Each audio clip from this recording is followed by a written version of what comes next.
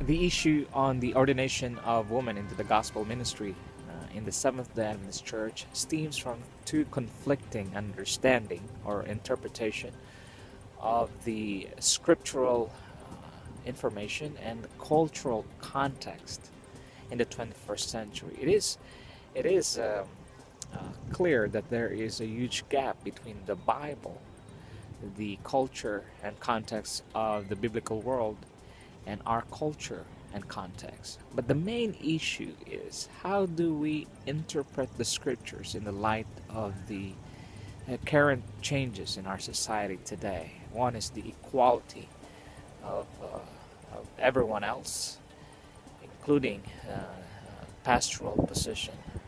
So these are some of the issues that we are uh, facing as a church. And so just to make it clear and simple, the struggle is between uh, being faithful to the Bible as the only authority in the church or conforming to the culture of our time uh, because everyone else would like to be uh, politically correct or uh, to cater to the demands of uh, society to give equal opportunity to, to all sexes for this matter. And so this is the struggle of the church right now as we hit the road to uh, San Antonio, Texas for the General Conference session.